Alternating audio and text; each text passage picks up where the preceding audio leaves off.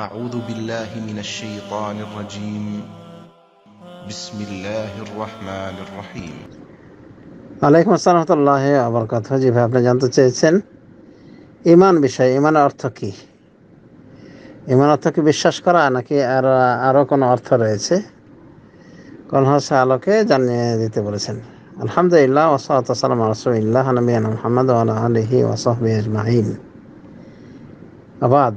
ইমানের আবিধানিক অর্থ হলো তসদিক মানে সত্যায়ন করা, সত্য জানা, মিথ্যা প্রতিপন্ন করার বিপরীত। এ থেকে এসে ইয়াকুব আলাহ সালামের ভাইরা যারা ইউসুফ আলাহ সাল্লামকে চক্রান্ত করে অনাবাদে কূপে ফেলে দিয়ে পশু জবাই করে, ওই পশুর রক্তে রঞ্জিত করেছিল ইউসুফের জামা কাপড়। এবং এটা সহ তারা এসার এসার সময়ে এসেছিল মানে রাত হয়ে তারা এসেছিল বাবার কাছে। যাও আবাহ এসা ইয়েব কোন আল্লাহ বলছে যে তারা তাদের বাপের নিকটে আসলো। এসার সময় কাঁদতে কাঁদতে ক্রন্দনত অবস্থায়। এরপরে তারা বলল যে, এই ব্যাপার, আমরা ইসুফকে নিয়ে গেছিলাম, ওকে রেখেছিলাম আমাদের আসবাবপত্রের কাছে, আর আমরা খেলতে ধরেছিলাম। ফাঁকালাহ জেব এত বছরে তাকে নেকড়ে বাঁকে খেয়ে ফেলেছে। এরপরে তারা বলেছিলেন যে আমা আন্তাবে মুসাদ্দেকিল্লানা আমা আন্তাবে মুমিনিল্লানা ওলা কন্যা সাদ্দেকিন আর আপনি আমাদের উপরে ইমান আনবেন না মানে আমাদেরকে সত্য জানবেন না, যদিও আমরা সত্যবাদী হয়ে থাকি। তো এখানে তারা বলেছিল যে আমা আন্তাবে মুমিনিল্লানা এর অর্থ হলো, আমা আন্তাবে মুসাদ্দেকিল্লানা আর আপনি আমাদেরকে তো বিশ্বাস করবেন না, আমার সত্য জানবেন না। ওয়ালাও কন্যা সাদেকিন, যদি আমরা সত্যবাদী হয়ে থাকি। তাহলে ইমানের আবিধানিক অর্থ হলো তসদিক মানে সত্য জানা। কিন্তু আবিধানিক অর্থটাই যথেষ্ট নয়। ইমানের পারিভাষিক অর্থ ওটাই যা জিবরিল আমিনের হাদিসে এসেছে। হাদিসে জিবরিল যে হাদিস প্রসিদ্ধ, প্রসিদ্ধি লাভ করেছে, ওই হাদিসে এসেছে। ইমানের যেটা অর্থ সেটাই। সেই হিসেবে আমরা বলতে পারি যে, হাদিসে জিবরিল রসুল্লাহ আসলাম যখন প্রশ্ন করেছেন জিবরিল আলাহ সাল্লাম মানবরূপী অবস্থায়, মানুষের হাতে এসে উনি প্রশ্ন করেছেন কয়েকটা বিষয়ে। ইমান যেমন ইসলাম ইমান এহসান, কেয়ামতের আলামত। তো ইসলাম সম্পর্কে যখন জিজ্ঞাসা করা হয়েছিল, তখন তিনি ইসলামের পাঁচটি রকমের কথা বলেছেন। শাহাদ শাহাদ আল্লাহ ইলাহ ইল্লাহ আন্না মোহাম্মদ রসল্লাহ তকিমা সালাত অতুতি জাকাত তসম রমাদান তাহু জলবাইত ইনসাফতা ইলাহি সাবিলা মানে পাঁচটি বিষয়ের কথা বলেছিলেন আন্তাসাদ আল্লাহ ইলাহ ইল্লাহ আন্না মোহাম্মদ রসল্লাহ অতকিমা সালাতা অতুতি জাকাত অতসম রমাদান অতাহু জলবাইত ইনসাফতা ইলাহি সাবিলা মানে পাঁচ রকম বলেছিলেন যে ইসলাম হলো এগুলি যে কলমা সাক্ষী দিবে, এই মর্মে যে আল্লাহ ছাড়া প্রকৃত কোনো মাহবুদ নেই। মোহাম্মদ আল্লাহর রাসুল। সালাত কায়েম করবে জাকাত প্রদান করবে, এবং শ্যাম পান করবে, হজ্জে যাবে। যদি সেখানে যাওয়ার সামর্থ্য রাখো। এরপরে জিবির আলমিন প্রশ্ন করেছে তৃতীয় প্রশ্ন আখবেননি মানে এহসান এহসান সম্পর্কে ইমান সম্পর্কে আমাকে বলুন। আখবেননি মানে ইমান ইমান সম্পর্কে আমাকে বলুন। তখন রাসুল্লাহ ইমানের সঙ্গে বলেছিলেন আল ইমান আন্ত মানে বিল্লাহ মালাইকাতি ও কুতুবি ও রসুলি আলিয়ামিল আখর আল কাদের খায়রিহি ওয়াশার রেহি হ্যাঁ তাই ইমান বলতে ইমান ষাটের রকম বলেছিলেন যে আল্লাহর উপরে ইমান ফেরেস্তাদের উপরে ইমান তার কেতাব সময়ের উপর ইমান তার রসুল সময়ের উপর ইমান আখারাত দিবসের উপরে ইমান তাকদিরে ভালো মন্দের উপরে ইমান তো ইমান বলতে এখানে দেখা গেল আকিদাগত বিষয়গুলি। মানে আল্লাহর ওপরে ইমান আনতে হবে। ফেসার ওপরে ইমান আনতে হবে, আল্লাহর ফেসার ওপরে ইমান আনতে হবে। আল্লাহর নাজিরকৃত কেতাব সমূহের ওপরে ইমান আনতে হবে। তো এগুলো সব আকিদা, বিশ্বাস। আর ইসলাম, যখন ইসলাম বিষয়ে জিজ্ঞাসা করা হয়েছিল, এর আগে তো জিজ্ঞেস করা হয়েছে ইসলাম সম্পর্কে। তখন রাসুল্লাহ ইসলামের পাঁচটি রকমের কথা বলেছে, যেগুলোকে আমরা সংক্ষেপে আরও বলি, কালেমা, নামাজ, রোজা, হজ জাকাত যদি সঠিক সিরার হলো যে কালেমা নামাজ মানে সালাত জাকাত সাম হজ এবার সিরিয়াল।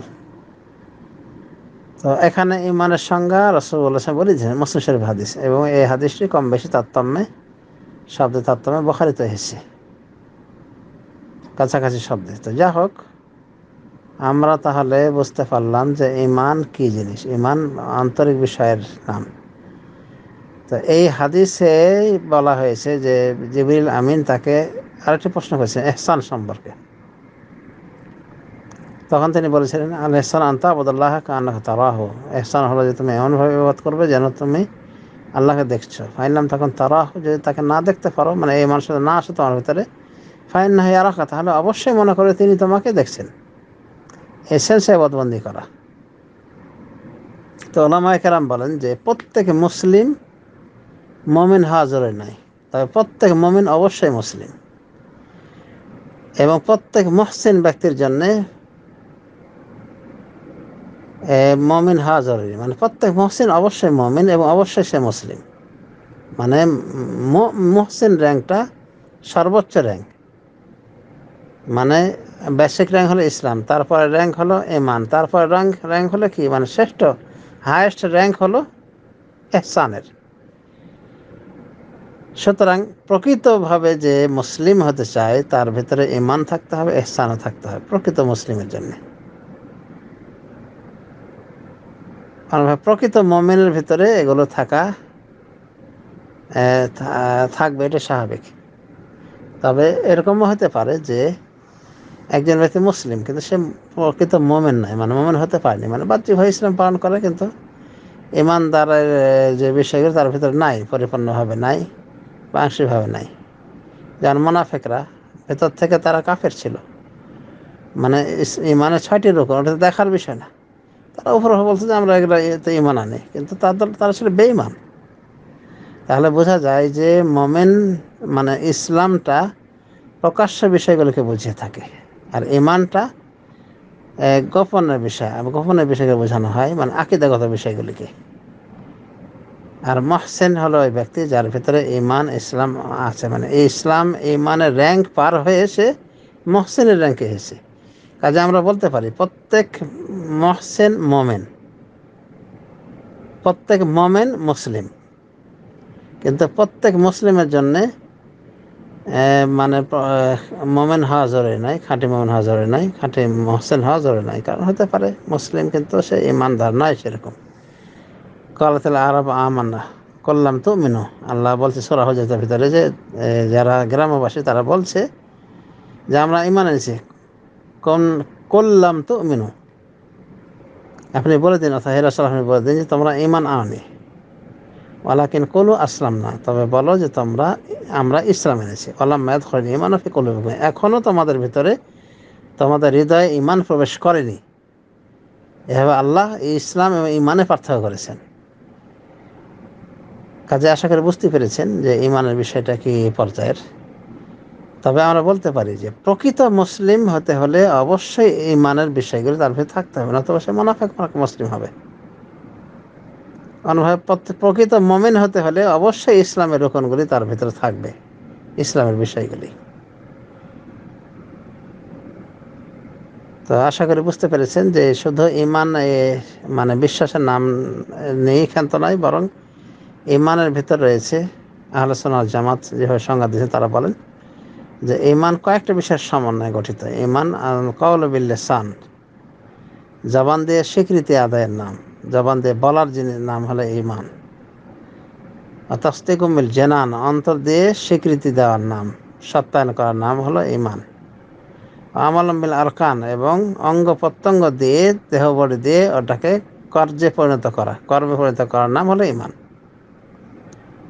এই জন্য সহ এসে বখারি, মুসলিম হাদিসে।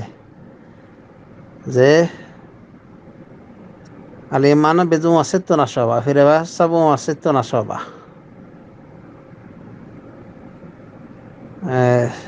সিত্তুমা সাবন সবা ইমানের ষাটটির অধিক শাখা রয়েছে, আর বর্ণায় সত্তরটি অধিক শাখা রয়েছে। আফজল হা কল লাইল্লাহ আর উত্তম শাখা হলো লাইলা বলা ও আদনা ইমাতাল আজানি তারেক আর সর্বনিম্ন শাখা হলো ইমানের ইমাতাল আজানি তারেক রাস্তা থেকে কষ্টদায়ক বস্তুকে অপসারিত করা, দূরে সরিয়ে দেওয়া, দূরীভূত করা। বল হায়া ও সবাত ইলাম ইমান আর হায়া, লজ্জাশীলতা, এটা ইমানের একটা অঙ্গ, অংশ, শাখা। তো বখারি মুসলিম হাদিস থেকে আমরা জানতে পারলাম যে ইমান কয়েক রকমে হচ্ছে। কথার নামও ইমান যেমন লাইলহা বলা হলো কাউলাহিল্লা এটা হলো সর্বোত্তম ইমানের শাখা। এটা না হলে ইমানদারই হবে না মানুষ, মুসলমানই হবে না। এরপর কি বলা হয়েছে? সর্বনিম্ন শাখা হলো ইমত আদা আনি তারিখ। রাস্তা থেকে কষ্টদায়ক বস্তু সরিয়ে দেওয়া। তো এটা তো হাতের কাজ। তার মানে হাতের কাজ করে ইমানের শাখায় ধরা হয়েছে। ইমানের শাখা হিসেবে গণ্য করা হয়েছে। বলে হায়া ও সবাতে মিনাল ইমান আর লজ্জাশীলতা, এটা হলো ইমানের একটা শাখা। তো লজ্জা মানুষ কোথেকে করে? হৃদয় থেকে হয় এগুলি। এটা হৃদয়ের কাজ। আমাল কলুব কাজে আমরা বলতে পারি যে ইমান হলো তিনটি বিষয়ের সমন্বয়ে গঠিত। এটাই হলো সঠিক সংজ্ঞা। যে ওটা ইমানের নাম হলো জবান দিয়ে স্বীকৃতি মানে জবান দিয়ে বলতে হবে ইমানের বিষয়গুলি। আর আর কি? হ্যাঁ হৃদয় দিয়ে বিশ্বাস করা আর কর্ম দিয়ে বাস্তবায়ন করা অঙ্গ প্রত্যঙ্গের মাধ্যমে এই হলো ইমান কিন্তু কিছু বেদাতিদের নিকটে ইমান হলো, বিশ্বাস করলেই হলো। মানে আল্লাহ আল্লাহ রসুলের বিশ্বাস ইমানের পাঁচ রকমের বিশ্বাস, ইসলামের ইসলামের পাঁচ রকমের বিশ্বাস ইমানের ছয় রকমের বিশ্বাস, বাস বিশ্বাস থাকলে হলো কাজ না করলেও চলবে। তো এরকম একটা বিভ্রান্ত দল রয়েছে যারা ইমানের সঙ্গে এভাবে দেয়। আবার কেউ বলে যে কথা বললেই মুখ দিয়ে কথা বললেই হবে উচ্চারণ করলেই হলো ইসলামের বিষয়গুলি মানে কলমা স্বীকৃতি দিলেই হলো অন্তর থেকে সাক্ষী দেখ বা না দেখ। আর কেউ আবার বলে থাকে যে অন্তরের স্বীকৃতিটাই হলো আসল। তার মানে ইবলিশও তাহলে যে মুসলমান হয়ে যায়। অন্তর থেকে সে বিশ্বাস করে না যে আখেরাত আছে, আল্লাহ আছে, রসুল আছে, সবই স্বীকার করে যায়, কিন্তু মানে না। আবু জাহাল তো এরকম ছিল। তো ওরা কি মোমেন? তো যাহাকে ইমানিয়তের বিষয়ে অনেক পথভ্রষ্ট হয়েছে। তো আহলাসন জামাতের আকিদা হলো এটাই যে ইমানের ভিতরে এই বিষয়গুলি রয়েছে। ইমান ইমানের ভেতরে রয়েছে কথা। মানে ইমান কয়েকটি বিষয় সমন্বয় গঠিত। মানে কথা বলা, জবান দিয়ে মানে জবান দিয়ে স্বীকৃতি দেওয়া, হৃদয় দিয়ে বিশ্বাস করা, অঙ্গ প্রত্যঙ্গ দিয়ে কার্যপরিণত করা। এগুলি তিনটি বিষয়ের সমন্বয় করতে মানে ইমান তিনটি বিষয়ের সমন্বয়কে বলা হয়। যদি এগুলোর স্তরের ভিতরে কম বেশি রয়েছে, র্যাঙ্কের ভিতরে কিন্তু মূলত ইমান তিনটি বিষয়ের সমন্বয়ে গঠিত। এটা হলো আহলে সন্না জামাতের আকিদা। আল্লাহ আলম সাল্লাহ আলমিন মোহাম্মদ আলহ আজমাই